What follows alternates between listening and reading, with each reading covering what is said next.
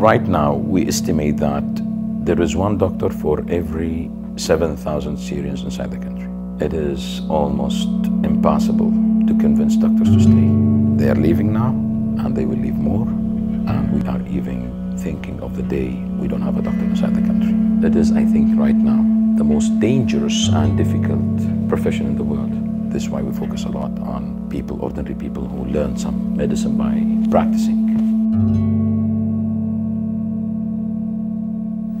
هلا أكثر لقطة إنه بتلاقي طفل يعني عمره سنة سنتين بتقول يا تحت الانقاذ نصه طالع ونصه تحت إيده رايحة عصيان وعم بصرخ.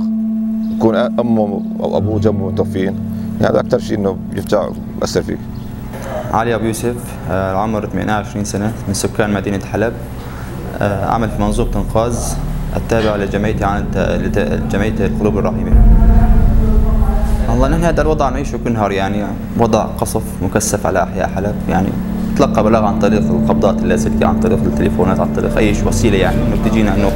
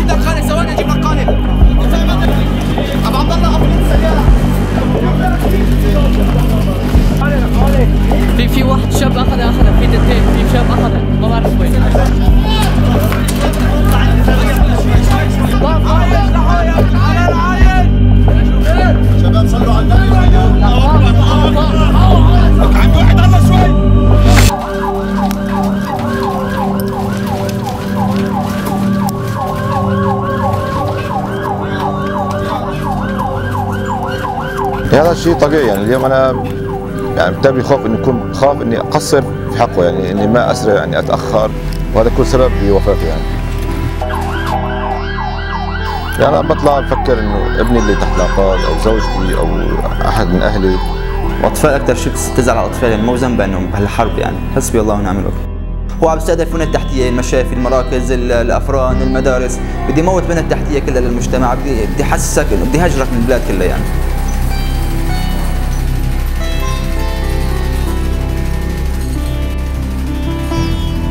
Надо наконец признать, что поле правительства в президента Асада, а также курдского ополчения с исламским государством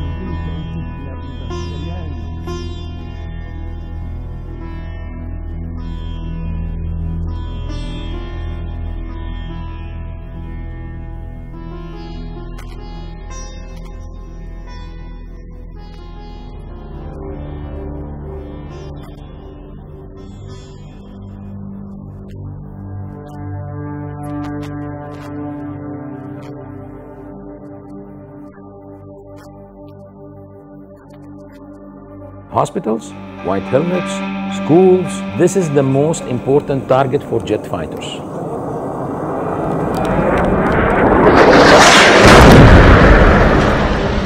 If you think that hospitals are targeted because wounded people might be combatants, then why primary healthcare centers, maternity centers are targeted? The main reason is people there should lose hope.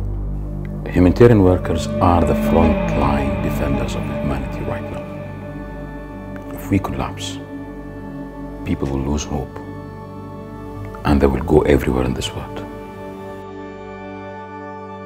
طبعا يعني شيء أكيد اليوم الشخص أي شخص بعده مثلا حدا من أهلي حدا من أقاربي بعده حدا من أولادي يعني اليوم بدي احاول بساعده ووصله لنقطة طبية أو لمشفى وبعيش بهذا الوضع يعني يكون أنا أنشأت بلد أنشأت جيل جديد إن شاء الله تعالى بحس إنه أنا انجزت شيء بهالحياه يعني.